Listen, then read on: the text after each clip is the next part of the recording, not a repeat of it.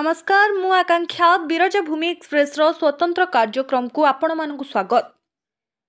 ଆଜିର ଆଲୋଚନାର ମୁଖ୍ୟ ପ୍ରସଙ୍ଗ ହେଉଛି ପ୍ରବାସୀ ଓଡ଼ିଆମାନଙ୍କ କିଭଳି ରହିଛି ଦୁଃଖ? ଆଲୋଚକ ଶ୍ରୀଯୁକ୍ତ ଲମ୍ବୋଦର ବେହେରା ଚାଲନ୍ତୁ ଦେଖିବା କ'ଣ କହୁଛନ୍ତି ପ୍ରବାସୀମାନଙ୍କ ବିଷୟରେ। ଆଜି ମୋତେ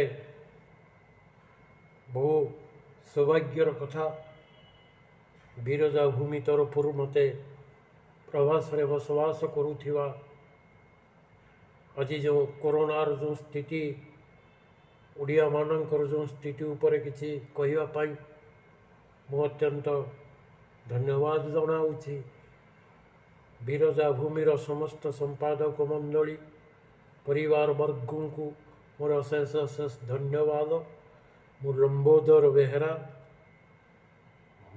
ମୋର ସ୍ୱର ପ୍ରଭାସୀଙ୍କ ସ୍ୱର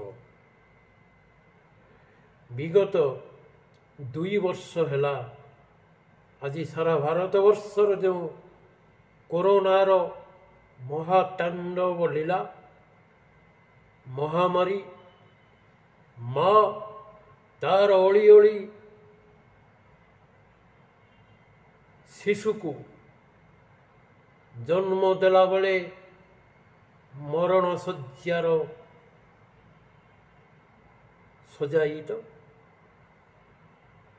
ମା କୋଳରୁ ଛଡ଼ାଇ ନେଲା ତାର ଶିଶୁ ପୁତ୍ର ସନ୍ତାନକୁ। ପୁତ୍ର ଛଡ଼ାଇ ନେଲା ତାର ପିତା ମାତାକୁ। ଏଇ ଯେଉଁ ଭାରତବର୍ଷର ଯେଉଁ କରୋନାର ଯେଉଁ ମହାମାରୀର ଯେଉଁ ସମସ୍ୟା। પ્રવાશ્રયમે વસવાસ કરું છે એ પ્રવાસી શત્રુબાદ પડી નાખે સારા વાર્તા વર્ષો આમ ઓડિશા રાજ્ય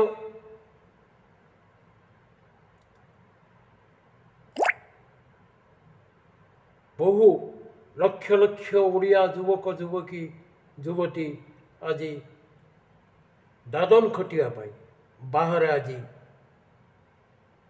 ରହୁଛନ୍ତି କାହିଁକି ଯେହେତୁ ଓଡ଼ିଶାର କର୍ମ ସଂସ୍ଥାନ ତାର ଶିଳ୍ପ ଅଚଳ ଶିଳ୍ପ ସଂସ୍ଥା ନାହିଁ କର୍ମ ନିଯୁକ୍ତି ନାହିଁ ଯଦ୍ୱାରା ଆଜି ବାହାର ରାଜ୍ୟରେ ଆମେ ବିତାଉଛୁ ଆମମାନଙ୍କର ଜୀବନ ମୁଁ ବିତାଉଛି ବାଙ୍ଗଲୋର ସିଟି ଯାହାକୁ କୁହନ୍ତି ବାଙ୍ଗଲୋର ସିଟି ହେଉଛି ଆଇ ଟି ସିଟି ବା ଇନ୍ଫୋ ସିଟି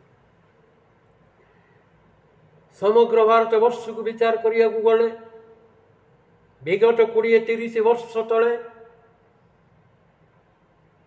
ଓଡ଼ିଆମାନେ ବିଶେଷତଃ ଆତ୍ମନିର୍ଭର ହେଉଥିଲେ କଲିକତା ଉପରେ ବା ୱେଷ୍ଟ ବେଙ୍ଗଲ କଲିକତା ଉପରେ।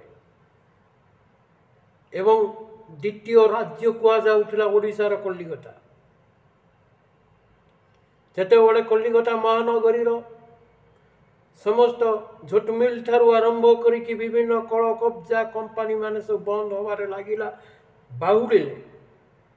ଓଡ଼ିଶା ମାନେ ଓଡ଼ିଆ ଲୋକମାନେ ଓଡ଼ିଆ ଯୁବକ ଯୁବତୀ ଠାରୁ ଆରମ୍ଭ କରି ଅନ୍ୟ ରାଜ୍ୟକୁ ପଳାୟନ କରିଥାନ୍ତି। ସୁରତ କୁହନ୍ତୁ ବାଙ୍ଗଲୋର କୁହନ୍ତୁ ଚେନ୍ନାଇ କୁହନ୍ତୁ ହାଇଦ୍ରାବାଦ କୁହନ୍ତୁ ମହାରାଷ୍ଟ୍ର କୁହନ୍ତୁ ବମ୍ବେ କୁହନ୍ତୁ ବିଭିନ୍ନ ରାଜ୍ୟକୁ ଯାଇକି ଦାଦନ ଖଟିବା ପାଇଁ ବା ଗୋଟିଏ ଶ୍ରମିକ ଭାବରେ ଖଟିବା ପାଇଁ ଯାଆନ୍ତି ଏ ସିଟି ହେଉଛି ବାଙ୍ଗଲୋର ଏ ବାଙ୍ଗଲୋର ମୁଁ ବସବାସ କରୁଛି ଦୀର୍ଘ ଦଶ ପନ୍ଦର ବର୍ଷ ଧରି ଓଡ଼ିଶାର ବାଙ୍ଗଲୋରର ଲୋକ ସଂଖ୍ୟା ଛଅରୁ ସାତ ଲକ୍ଷ ଲୋକ ଓଡ଼ିଆ ଲୋକ ଏଠି ଆତ୍ମନିର୍ଭର କରୁଛନ୍ତି। ଏଇ ଛଅରୁ ସାତ ଲକ୍ଷ ଲୋକ କଥାଙ୍କ ମୁଁ କହୁଛି ଦୁଇ ଲକ୍ଷ ଲୋକ ନିର୍ଭର କରନ୍ତି ଆଇ ଟି ସିଟି ଉପରେ। ଆଇ ଟି କମ୍ପାନୀମାନଙ୍କର ବିଭିନ୍ନ ଆଇ ଟି କମ୍ପାନୀମାନଙ୍କର ଓଡ଼ିଆ ଇଞ୍ଜିନିୟର ବନ୍ଧୁମାନେ ସବୁ ଅଛନ୍ତି। ସେମାନଙ୍କର ତ ଅସୁବିଧା ନାହିଁ କିଛି।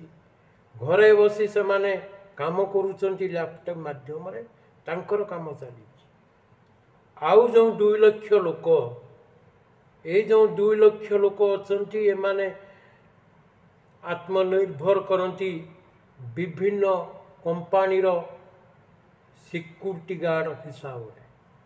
ବାଙ୍ଗଲୋର ସିଟି ଉପରେ ଯଦି ଗୋଟେ ବିଲ୍ଡିଂର ଯଦି ଟେକାଟିଏ ଖପାଡ଼ିବେ ସିଏ ହିଁ ଓଡ଼ିଆ ସିକ୍ୟୁରିଟି ଉପରେ ବାଜିବ ଆଜ୍ଞା ଦୁଇ ଲକ୍ଷ ଆଜ୍ଞା ଓଡ଼ିଆ ସିକ୍ୟୁରିଟି ଏଠି ଅଛନ୍ତି ସିକ୍ୟୁରିଟି ଗାର୍ଡ଼ କରିକି ଆତ୍ମନିର୍ଭର କରନ୍ତି ଆଉ ଦୁଇ ଲକ୍ଷ ଆପଣଙ୍କର ବିଭିନ୍ନ ଗାର୍ମେଣ୍ଟସ୍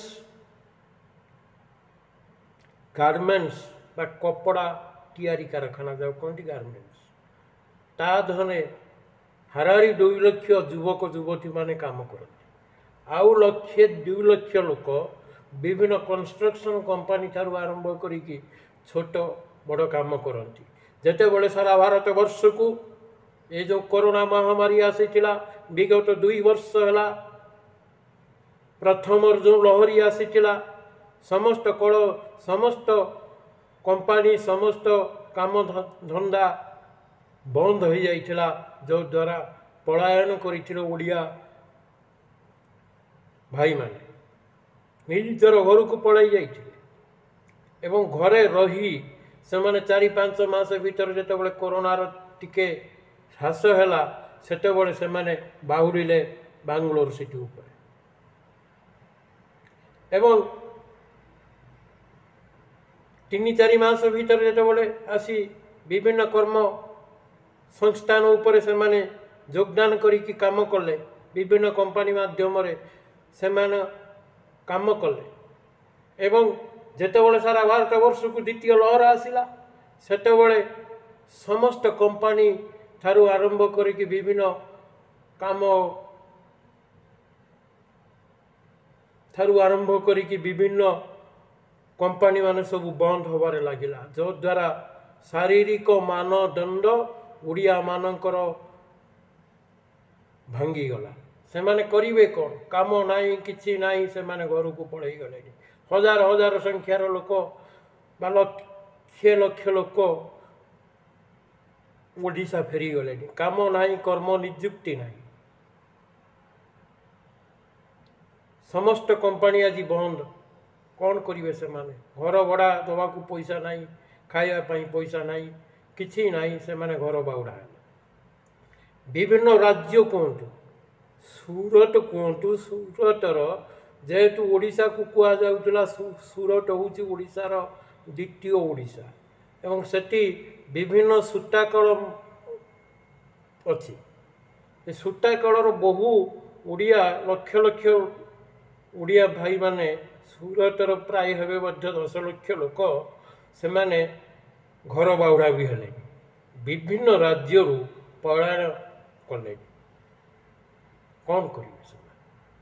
କମ୍ପାନୀ ତ ବନ୍ଦ ହେଲା ଚାକିରି ଗଲା କାମ ଗଲା ଧନ୍ଦା ଗଲା କରିବେ କ'ଣ? ଏଇ ପରିସ୍ଥିତିରେ ଯଦି ଓଡ଼ିଶା ସରକାର ପ୍ରବାସୀମାନଙ୍କ ପାଇଁ କିଛି ଯଦି କରନ୍ତା ଯଦି ଓଡ଼ିଶାର କ୍ଷୁଦ୍ର ଶିଳ୍ପ ଠାରୁ କୁଟୀର ଶିଳ୍ପ କରନ୍ତା ତାହେଲେ ଓଡ଼ିଆ ଯୁବକ ଯୁବତୀମାନେ ଆଉ ଦାଦନ ଖଟିବା ପାଇଁ ବାହାର ରାଜ୍ୟକୁ ଯିବେ ନାହିଁ। ସେମାନେ ଓଡ଼ିଶା ରାଜ୍ୟର ରହି ପାଞ୍ଚ ଟଙ୍କା ପାଆନ୍ତୁ ଦଶ ଟଙ୍କା ପାଆନ୍ତୁ ସେ ହିଁ ହେବ ତାଙ୍କର ଆତ୍ମନିଯୁକ୍ତି।